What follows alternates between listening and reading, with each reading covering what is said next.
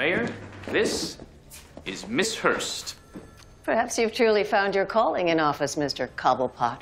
Or perhaps you just know how to show people only what they want to see. Hmm?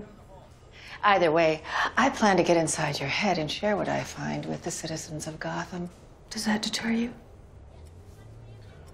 Please. Then I think the exclusive interview should happen here at City Hall this Friday, live. Actually, I would prefer to do it at home. Uh, uh, uh, this Friday or not at all.